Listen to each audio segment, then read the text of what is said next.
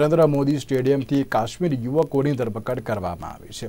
શંકાસ્પદ ચાર કાશ્મીર યુવકોની ક્રાઇમ બ્રાન્ચે ધરપકડ કરી છે. ત્યારે કાશ્મીરી યુવકો કોઈ ગુનાને અંજામ આપવા કે પછી મેચ નિહાળવા આવ્યા હતા, જેને લઈને ક્રાઇમ બ્રાન્ચે વધુ તપાસ હાથ ધરી છે.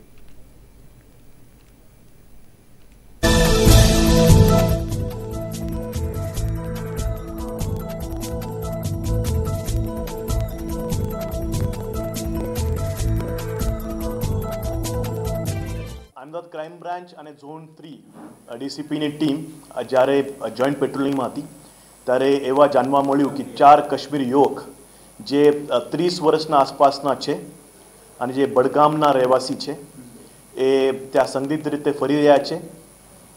થોડું અમને શંકાસ્પદ લાગતા એમને ક્રાઇમ બ્રાન્ચ ખાતે પૂછપરછ માટે લાવ્યા છીએ અને એમની પૂછપરછ ચાલુ છે.